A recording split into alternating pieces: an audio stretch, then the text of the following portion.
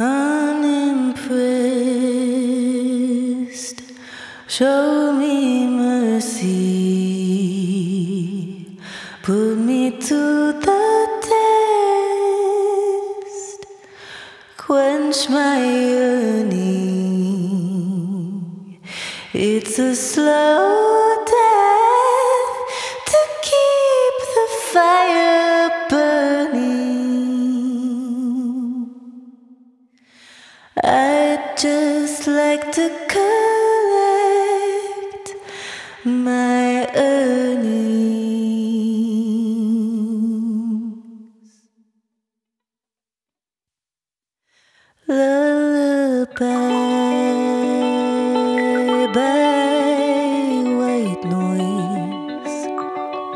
I'm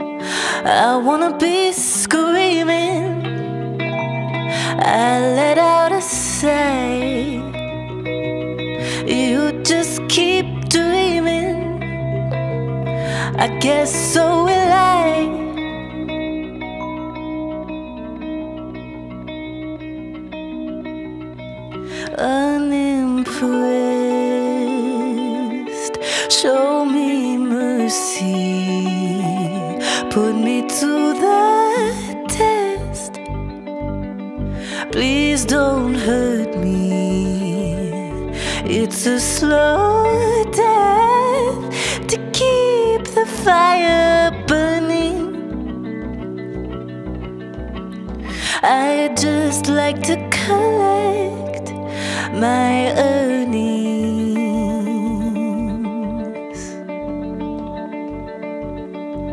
I wanna be screaming.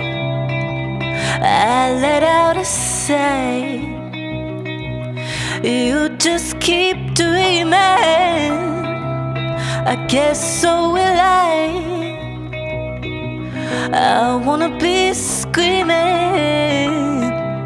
I let out a sigh. Ooh, you just keep dreaming. I guess so will I.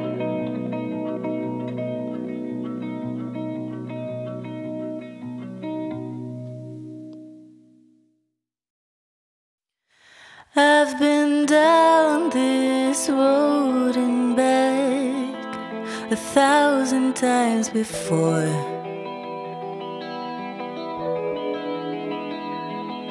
You run a thousand miles to find what you're looking for. Was just a feeling in your core. Do you want some more?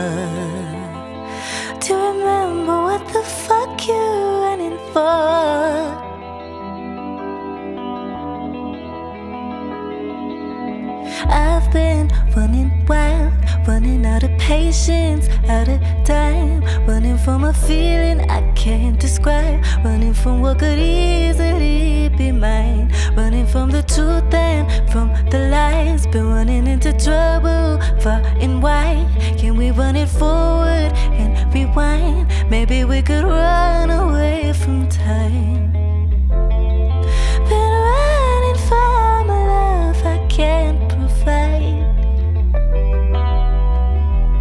Feels like I've been running all my life.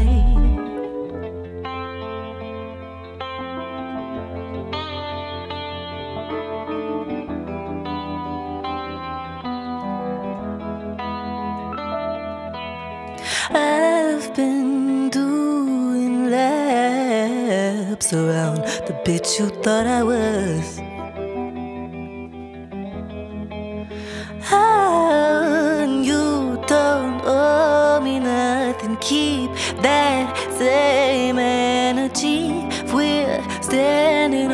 Off, you'll need more stamina than me.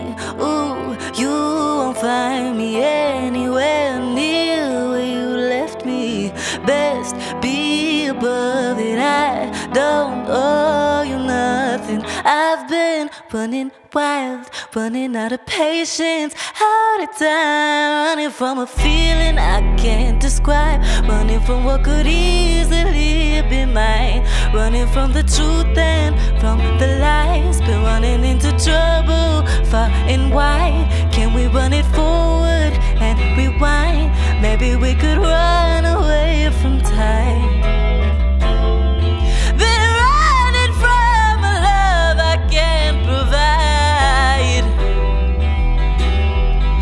Like I've been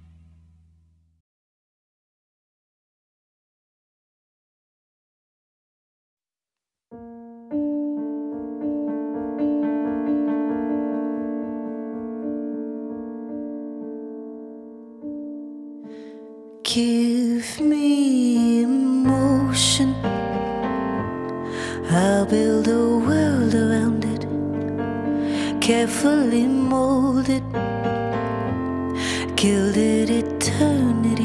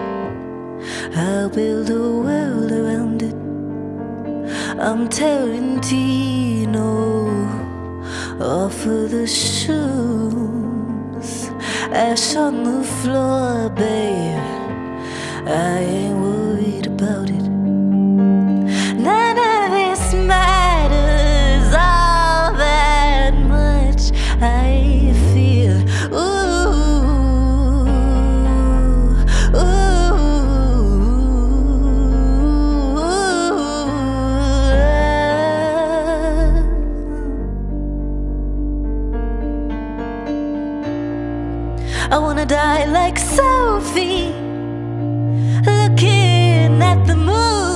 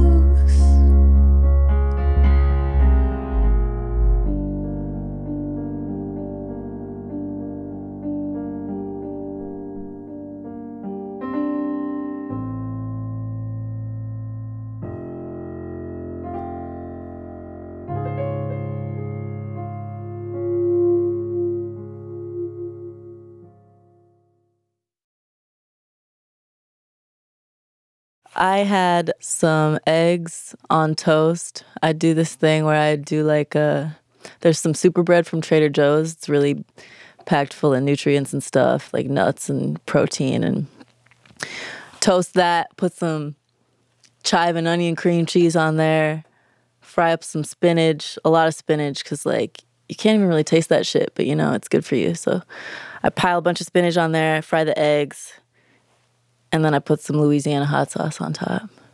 Not usually a one-stop type of type of place. I'll usually go to like Hy-Vee or Target, admittedly. I'm Xina, I'm going to play some songs, answer some questions. That's kind of just who I am, what I do, you know.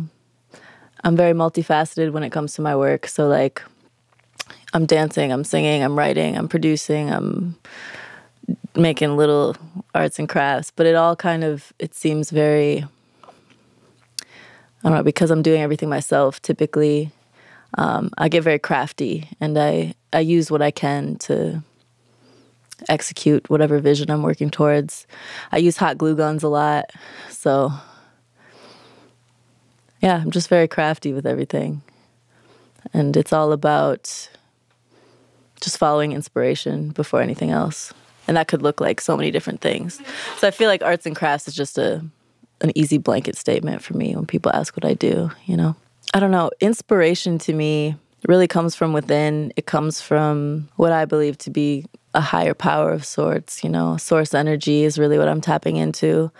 Um, but it's always with the desire to express something deep within myself, you know. Um, I feel like I I rarely pull inspiration from outside sources. It's usually just like I, I just really have something festering that needs to come out and it makes its way out. Music is kind of it's a different sort of level of fulfillment. Um, I think it's the easiest way for me to channel and sort of transmute energy. Like it's such a blessing to be able to feel something really like visceral and maybe unpleasant and then, you know, create something beautiful from it. And that's I think the landscape where that happens most effortlessly. Um, if I'm really just trying to release energy for the sake of just release and for like taking care of myself, I love to dance and move. I think that's that's more of my selfish practice sometimes. Um, just because it feels good. That's the main reason I do it. Maybe I hate answering this question like what what genre do I affiliate myself with or whatever. It's like I think my music is often at least as far as like melodies and lyrics, it's very sort of pop driven, pop R&B. But I don't like to put myself in a box, you know. No artist does. um, I think art pop means to me something a little bit different than maybe what it's meant to mean. I think people associate like Lady Gaga with art pop.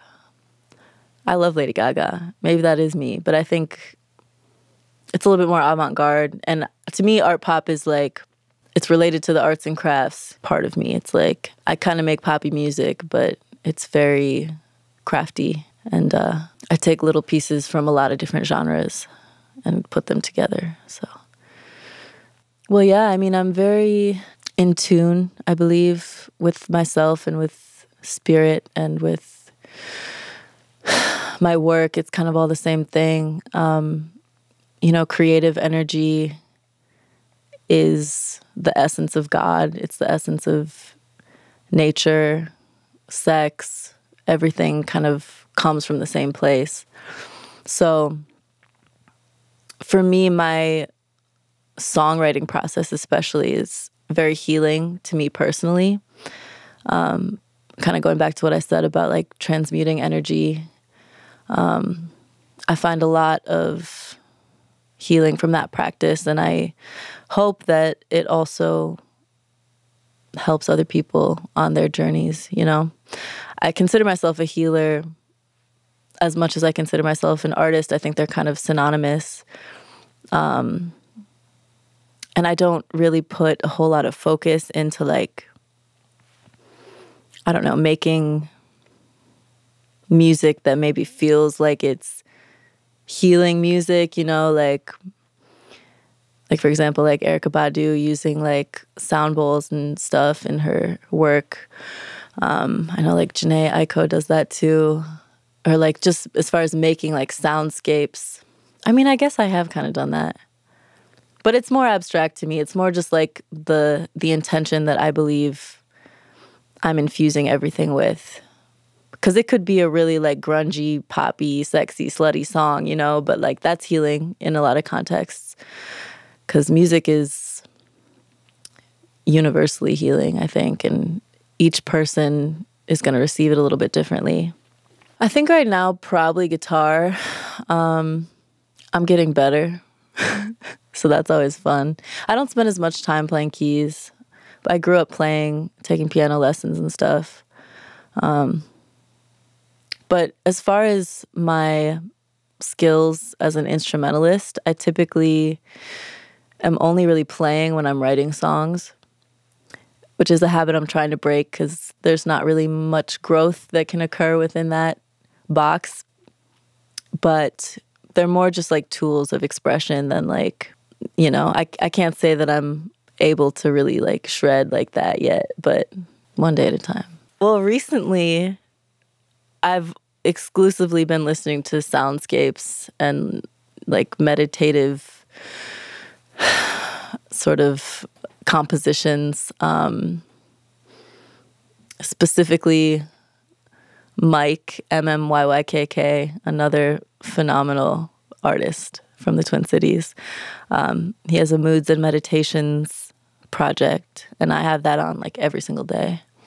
Another friend of mine, um, Michael Michaelton, he has a project called Digital Nap that's also beautiful little soundscapes. Um, I really like to go really deep when I'm working out or like doing anything physical with my body. I feel like rather than like putting on music that gets me hyped up, you know, I find that that can kind of makes me work harder than I need to, which to me feels like wasted energy and it feels a little bit detached. But like if I'm listening to something that's really grounding me and keeping me connected to my body and my mind and my spirit, it's it's a much more fulfilling experience, I find. And I think my body responds a lot better and I'm really able to push myself in different ways.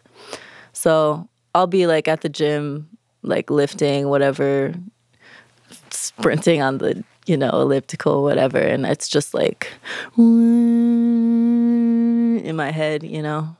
People ask what I'm listening to. I'm like, oh, you're never going to believe me. But it works. It works for me.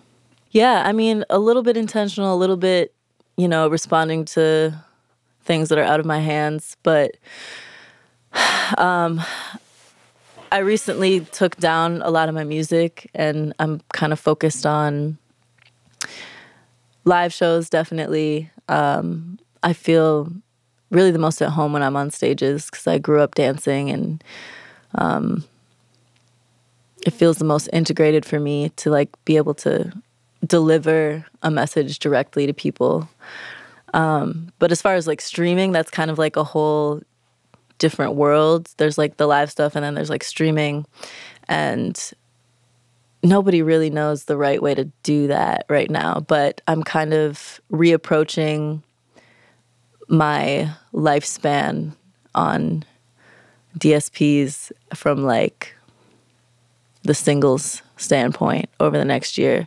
Because now that I've taken those projects down, I have so much music in the vault and it's just giving those the care and attention that they really deserve and then also promoting them with the same level of intention and putting out just one thing at a time and really just create a splash because you got to drop it from up high if you want it to splash you know what i mean i mean I, I love the Tarantino films. That's kind of a basic answer if there's any film majors watching. But um, visually, I'm really inspired by Solange.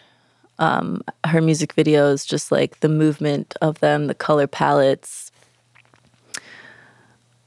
They're very picturesque. There's not really a lot happening, but you don't want to look away, you know? So that's something I'm always like I feel like when I have a visual idea, it's kind of in my head in that style, regardless of how it turns out. Like that's that's what I'm aspiring to. I'm inspired by sci-fi and like thriller, suspense films, stuff like that. I think Xina kind of has this like creepy energy sometimes. Like I have a whole batch of songs that are really sort of dark, like industrial, like scary sounds. And all my visual ideas for those involve blood and gore and stuff. So I think that's cool. I want to say Kill Bill, even though that's just about probably as basic as it gets. But I also love Jackie Brown.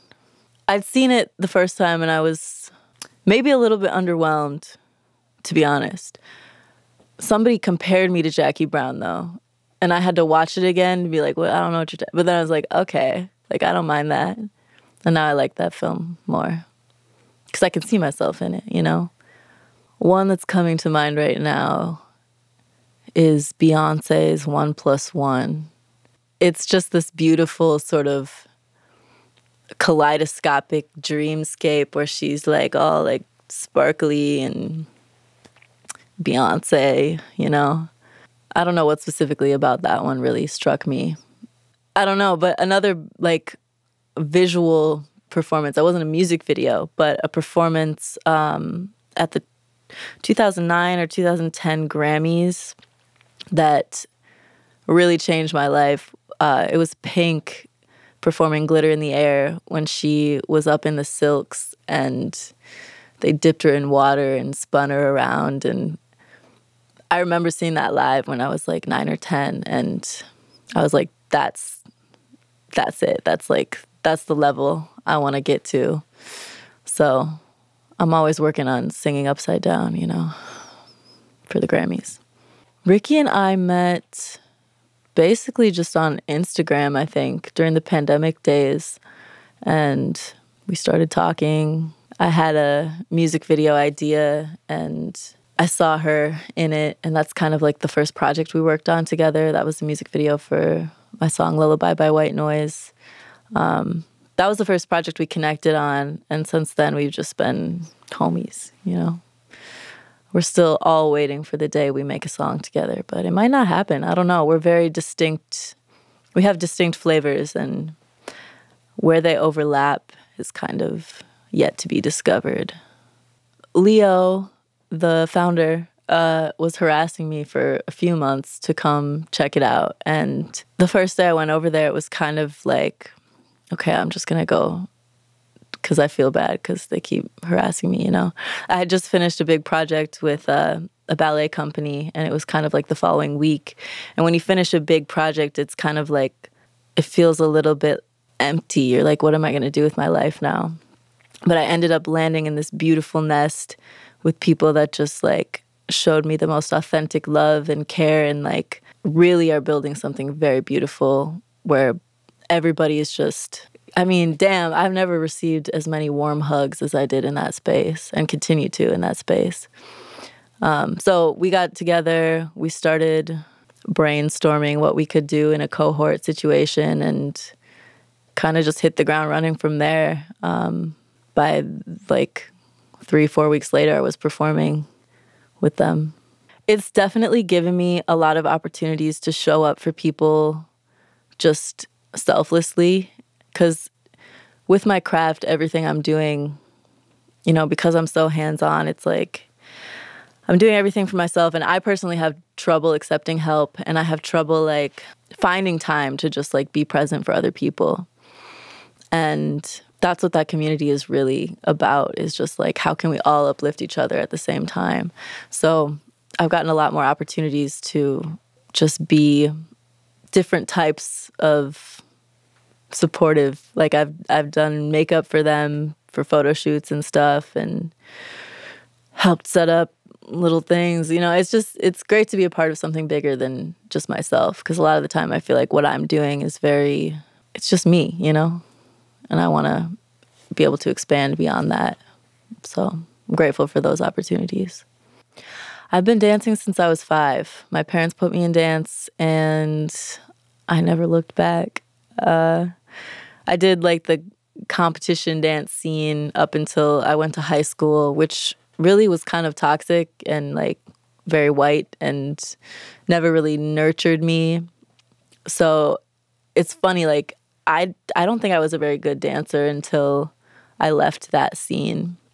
And since then, I've been able to flourish on my own and in different contexts. Um, in high school, I was in a modern dance company that the director, she was kind of like my mom at the time. And those were some of the most enriching sort of creative experiences I've had. Because in that company, we did all of our own set design and like just the overall theme for the show every year. We pick a theme and choreograph everything ourselves and make our own costumes and just create this show like all ourselves. And I think that's really what sort of equipped me with the tools to build worlds on my own. During that time, my director would always say, you know, once you graduate high school and you leave this space, you're always going to say that that was the best thing you ever did. And we were like, okay, you're probably right. But now that I'm there, I'm she's probably right, you know. And after that, um, it's hard to find opportunities to dance as an adult, but I've found the most joy with pole dance and like just being able to do that alone in my house, really, because it's something that's pushed me beyond my limits, you know, in a lot of different ways. And that practice is just really sacred to me, just being able to do it alone in my house. You know, I don't need community for that specifically. So it kind of kept me engaged with my body and my movement practice after leaving school and stuff. I think that's silly. I think, I don't know, I kind of see a difference also between maybe like dancing and just moving. And I think there are so many movers out there who maybe have never taken a dance class in their lives, but it's just like they're able to tap into their bodies and like express themselves and really feel. And like everybody has access to that. Dance is for everybody. And you don't need the technique. You just have to be confident and like be able to feel yourself. Musicality helps, rhythm helps, but like you don't even need music to move maybe that I'm pretty goofy. You got to get me in the right space. Cause Xina is very like like Xina is very like serious, you know. Like like I'll just like there's a little bit of mystery there, you know. I hope. But outside of that context, I feel much lighter. So I've been working towards like integrating some of that goofiness and some of that lightheartedness into my work because I feel like I take things too seriously a lot of the time. What's next for me? Um, as I was saying before, I will be sort of reinventing a lot of my catalog that I've recently taken down and hopefully putting that out over the next year and beyond. I know there's a lot of people right now that are kind of pissed off that I took that music down. And I love that they feel that way because that means it touched them, you know, which I'm grateful for. But I got to do things a little differently this year. So I feel like more than anything, I'm focused on just being happy and spreading joy and love and trying to not get carried away with all of the little tasks I have to do every day. I'm very good at finding time for myself because I feel like I can't I can't give anything unless I'm full, you know. I'm always very mindful of that and preserving that within myself.